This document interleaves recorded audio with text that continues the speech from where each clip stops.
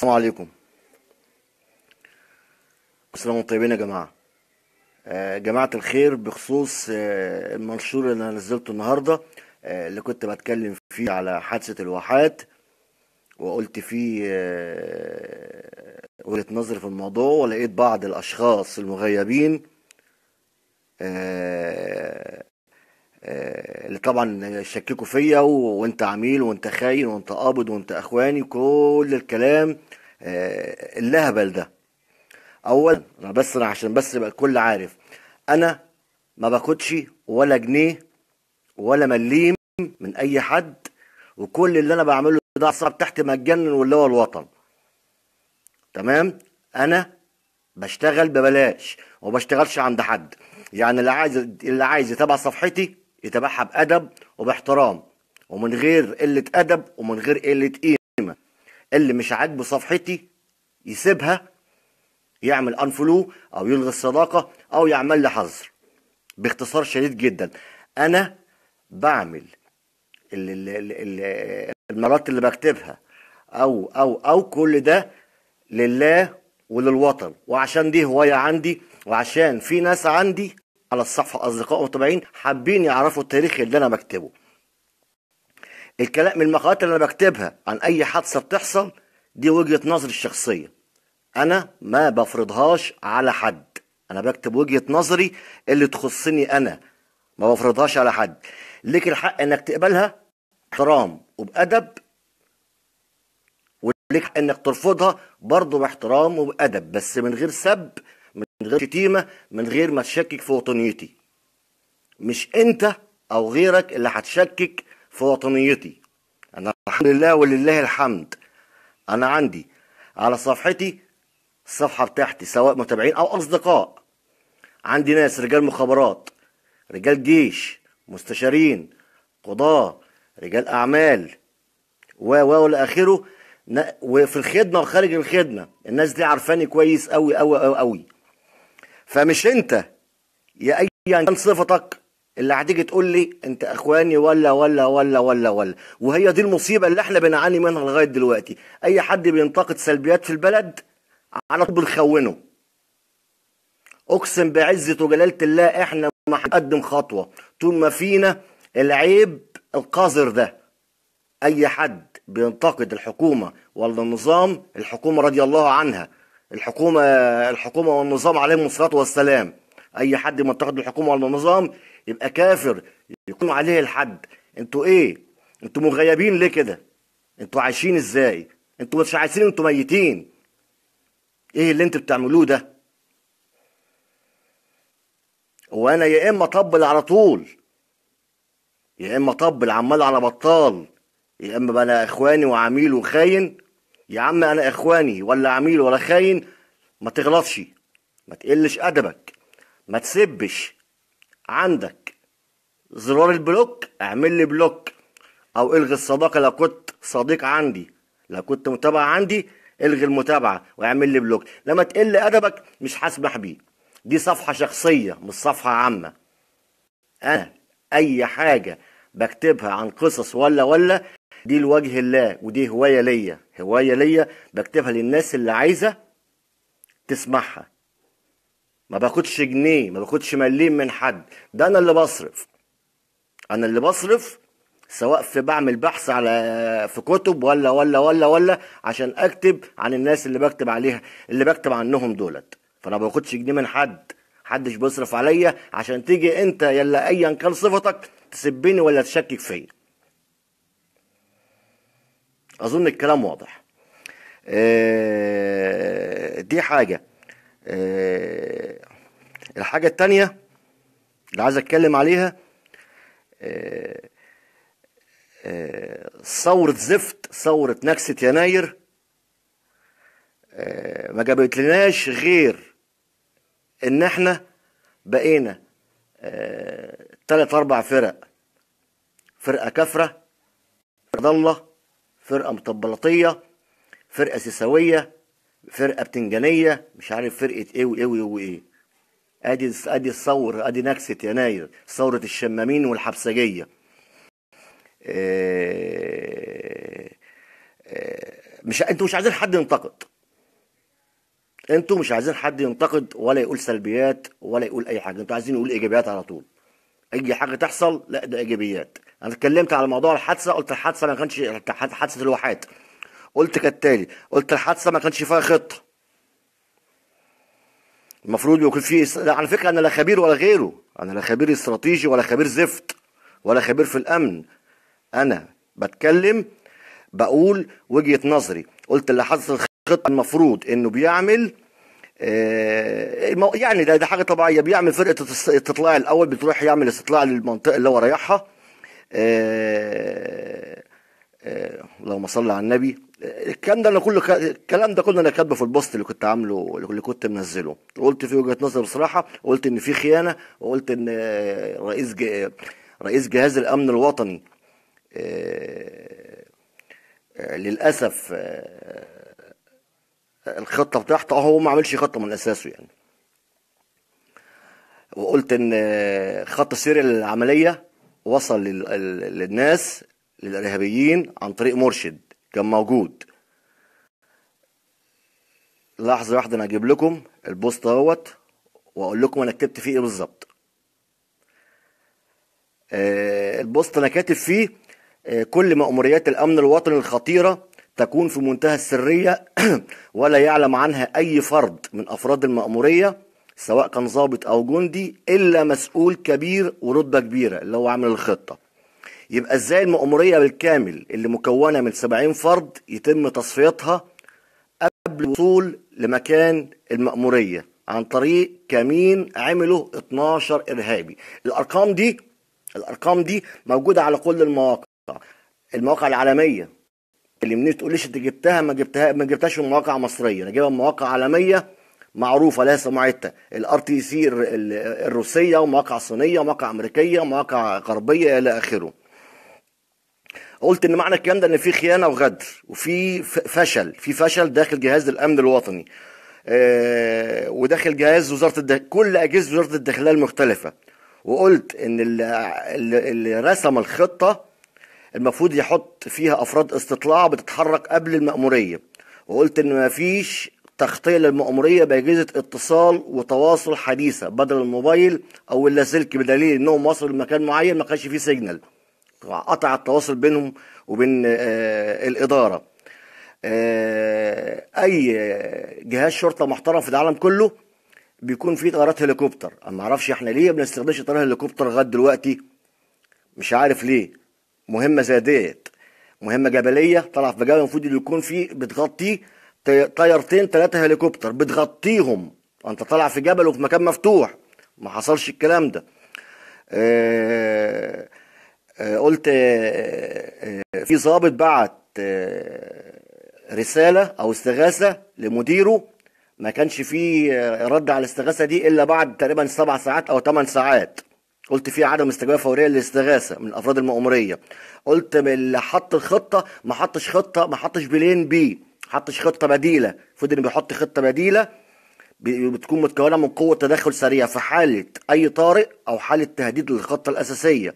وقلت إن في خلل واضح وصريح في الخطة نفسها وفي فشل واضح من من اللي حط الخطة.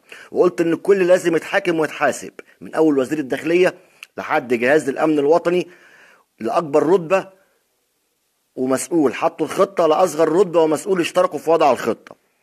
وقلت ابحثوا وطهروا الأمن الوطني المصري وجهاز الشرطة المصرية ووزارة الداخلية من الخونة والفاسدين والفاشلين والمرتشين قبل ما تضحوا باللي باقي من شبابنا.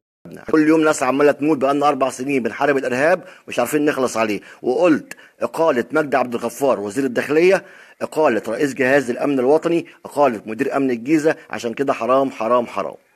لقيت بقى بعض التعليقات عهدتك يا أستاذ أحمد إن تكون منطقيا وتنقل حقائق إيه ومنطقيا إيه؟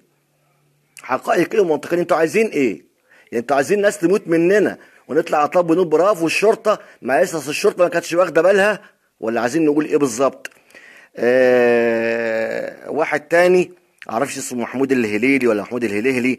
آه هذا الأحمد آه المثير للشبهات. مثير شبهات إيه؟ واحمد خليك محترم في كلامك خليك مؤدب. مين محمود الهلالي ده ولا محمود الهليلي؟ ده المفروض إنه كان ضابط في الجيش. كان ضابط في الجيش بس حاليا على المعاش. هو كاتب درس في الكليه الحربية. آه أنت مثير للشبهات إيه؟ هو إيه المطلوب يعني مننا بالظبط المفروض نطلع نسقف للداخلية واللي حط الخط ونقول برافو عليك. ولا إيه؟ أنتوا كنتوا عايزين واحد زي آه، واحد رئيس عصابة يحط لكم خطة الهجوم؟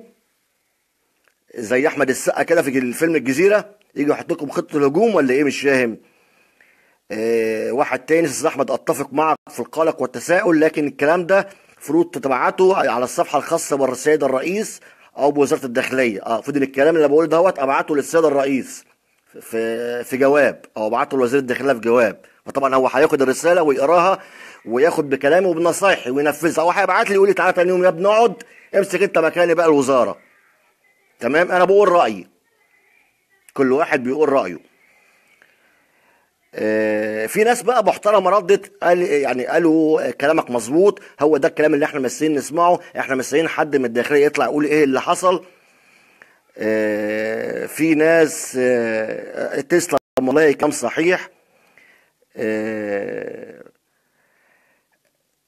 مش عارف إيه تاني. انت اي آه انت بتتكلم عن سبعين شهيد يعني إيه؟ انت بتكذب الأجهزة الأمنية. على فكرة أنا بقى مش بكدبك أنا بصدقك على كلام ما تجيب الدليل على هذا السبعين ولا 80 لو مش عندك دليل اقفل ال account بتاعك. أفضل لك. اقفل account مين انت عشان تقول لي اقفل ال account بتاعي؟ بتصرف عليا؟ تديني مرتب كل شهر؟ مين انت عشان تشتمني وتخوني لا ده أنا اللي بصرف على الاكونت اللي أنا فاتحه لك ده. أنا اللي بصرف عليه. انت ما بتدينيش حاجة من جيبك. رأيي اللي أنا بقوله تحترمه على دماغي. ما تحترموش برضه على دماغي بس بأدب. هتقل أدبك هيقل أدب عليك. لو انت عندك لسان طويل أنا عندي لسانين أطول من لسانك.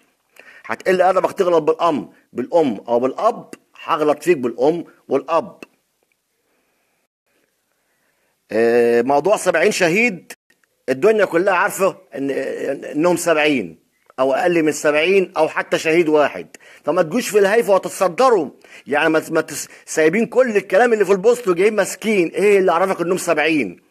يعني أنتوا سايبين كل البلاوي اللي حصل في العملية وماسكين في كلمة هم لا ده هم 70 ده هم سبعة بس لا ده هم اتنين بس. فزي بيقولوا إيه إحنا يعني عشان مش لاقيين حاجة نتكلم مش لاقيين هيافه يتكلم فيها فماسكين في كلمة هم 70 ولا 80 ولا واحد ولا اتنين. ده برضه دليل إن إحنا إيه تفهين. إيه تاني؟ آه يا جماعة ارحموا بلدنا.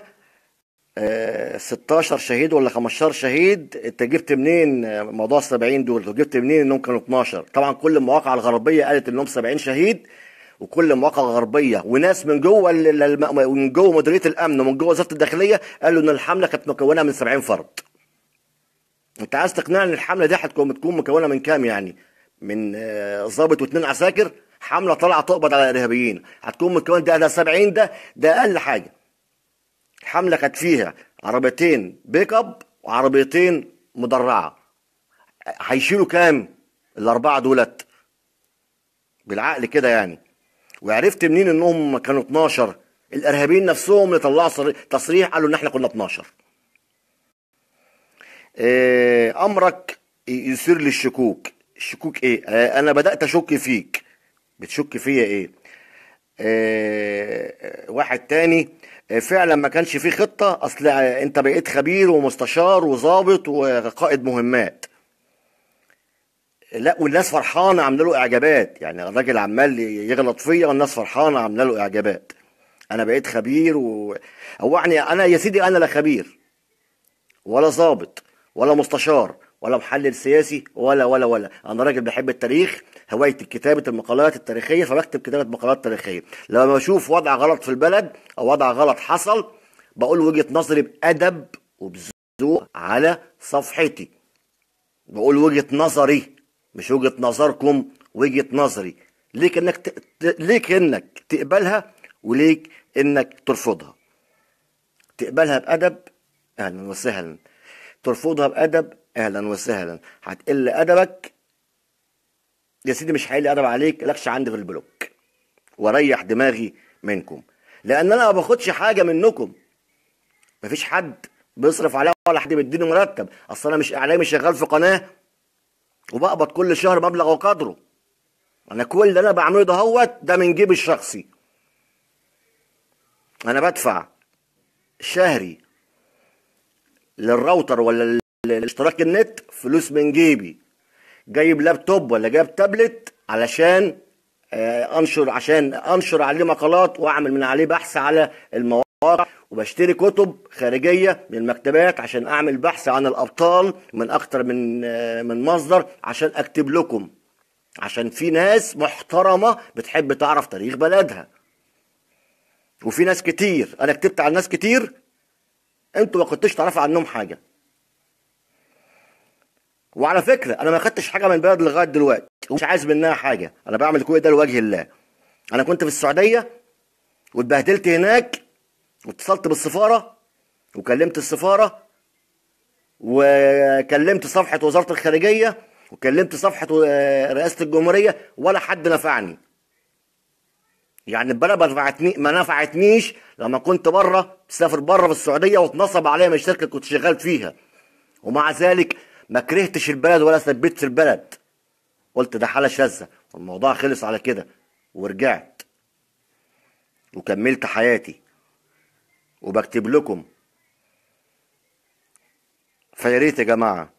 يا آه آه واحد تاني كاتب ممكن أعرف مصدر معلومات حضرتك منين؟ مصدر إيه يا فندم؟ يا فندم أنا مش كاتب معلومات. يا فندم أنا كاتب وجهة نظري. أنا بقول إن المفروض يكون في خطة المفروض يكون في خطة بديلة. أنا بقول إن المأمورية انضربت قبل ما توصل المكان. الموقع اللي راح تهاجمه. أنا بقول وجهة نظري بناء على المعلومات اللي اتنشرت. معلومات إيه اللي أنا كاتبها عشان تقولي ب... عايزين نعرف مصدر معلوماتك. يعني حاجة غريبة. دلوقتي اللي ينتقد ولا يتكلم عن سلبيات عن سلبيات يبقى خاين وعميل وإخواني. اللي يقعد يطبل عمال على بطال يبقى زي الفل ويتشال على الدماغ وعلى الرأس من فوق. ارحموا البلد. ارحموا البلد. وارحموا شباب البلد. إحنا ما كناش كده قبل كده.